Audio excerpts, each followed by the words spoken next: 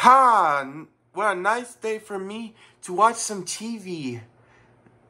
Now, where should I go? Hmm. I'm going to Paramount Plus. Okay, so what should I watch? Frasier? Never heard of that. The Summit? Mm, nah, not interested. Casa Bonita?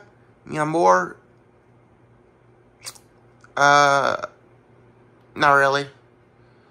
Apartment 7A? No, wait a minute. What? No way. Monster High 2022 is on Paramount Plus? No way. That is so cool.